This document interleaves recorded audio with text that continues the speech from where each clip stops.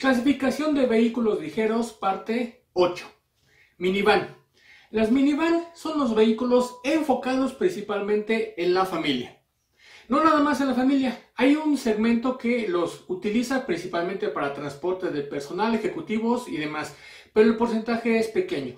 Principalmente el vehículo está enfocado a llevar 7 u 8 pasajeros, que prácticamente es una familia mediana, que va a contar con una gran cantidad de elementos de confort asientos con estructuras que pueden girarse completamente, con eh, respaldos, con movimientos para descansar los pies, con sistema de detenimiento, con aire acondicionado con control independiente, en cantidad de cosas que puede llegar a tener.